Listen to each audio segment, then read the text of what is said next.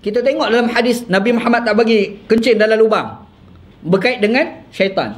Maka disebabkan itu bila kita keluar daripada tandas Nabi Muhammad SAW baca doa.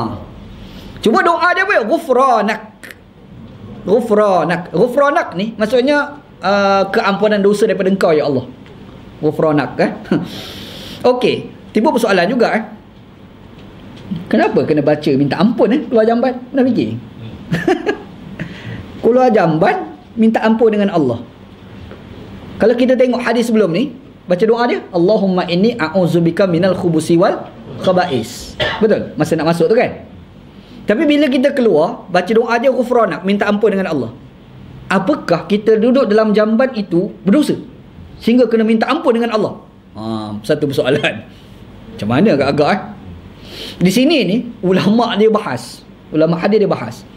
Dia kata yang pertama Nabi Muhammad sallallahu alaihi wasallam ni dia akan berzikir pada setiap masa. Ingat kita bincang hadis sebelum ni, hadis ke-18. Eh, Nabi Muhammad sallam Aisyah bagi tahu berzikir pada setiap masa. Tiba-tiba ketika buang air, boleh tak berzikir? Tak boleh berzikir. Makanya tak berzikirnya Nabi itu, Nabi dah anggap macam bersalah dengan Allah, maka disebabkan itu minta ampun dengan Allah. Oh. Jadi maksudnya Nabi Muhammad sallam dia ni minta ampun dengan Allah walaupun tak berdosa sekalipun. Kita baca dalam hadis Nabi Muhammad sallallahu alaihi wasallam istighfar dengan Allah lagi banyak daripada kita. Betul? Nabi kan maksum. Kalau Nabi maksum tak payahlah minta ampun. Nak minta ampun dah ampun dosa dah. Kan? Lepas tu yang minta ampun juga ni kenapa? Ha. Dia ni ada orang ni dia ada kategori tau dalam ketakwaan dia. Orang macam kita ni sambil-sambil buat dosa pun tak minta ampun. tak buat dosa dah. Relax eh tak ada apa pun. Betul eh? Nabi Adam AS dia jatuh daripada syurga tu kan. Eh, Nabi kan dia maksum. Tapi bila dia jatuh tu, dia doa apa dia? Rabban uh, Rabbana zalamna anfusana wa illam taghfir lana wa tarhamna lanakunanna minal khasirin. Dia minta ampun dengan Allah. Kenapa dia nak minta ampun sedangkan dia memang terampun dosa?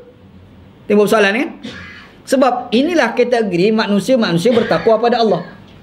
Ada manusia tu dia takwa pada Allah, yang dia ni buat dosa dia minta ampun. Dia buat dosa dia minta ampun. Tapi ada satu kategori yang dahsyat, tak buat dosa pun minta ampun dengan Allah. Buat benda makruh pun minta ampun dengan Allah. Faham? Nah itulah sebab dalam hadis ni Nabi Muhammad wasallam bila keluar daripada tandas dia baca doa ghufranak. Faham? Minta ampun, keampunan dosa daripada engkau ya Allah. Ha eh. Kita ambil lah belajarlah lagu tu kan. Ha, macam mana pula pemahaman Imam Abu Daud? Itu kita akan bincangkan datang lah. Apa maksud Imam Abu Daud pula dalam hadis ni eh? Cuma kalau kita buka dalam riwayat-riwayat yang lain, memang ada bacaan doa yang lain. Tetapi dhaif, mungkar, palsu. Doa yang sahih ketika kita keluar daripada tandas, pendek je ghufranak. Wah, yang lain ada panjang. Kalau bawa kat sini ada doa-doa yang panjang. Contoh, ada satu doa alhamdulillahillazi azhaba 'annil adza wa 'afani. Dhaif. Itu dhaif.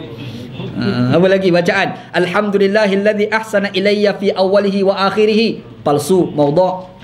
Alhamdulillahilladzi azaqani ladzatahu wa abqa fi quwwatihi wa azhaba anna adahu. Dhaif. Dhaif belaka. Yang sahih ni pendek ni. Macam mana sebut hari tu doa makan. Ingat cerita awal itu. Kan? Ha, doa makan kita Bismillah Allah barik lana fi ma razaqtana wa qina adzabannar kan. Padahal kalau kita baca eh yang sahih tak panjang, pendek je. Yang sahih. Allah mabarik lana fihi. Itu je. Kita segala Rabbana Al-Quran habis kita impun baca. Bubuk kat situ kan. Ha, maka demikian juga doa ketika kita keluar daripada tandas. Pendek je sebenarnya. Tak beban pun. Keluar daripada tandas tak sampai satu saat. Ghufranak. Keampunan dosa daripada engkau lah ya Allah. Dah ya? InsyaAllah.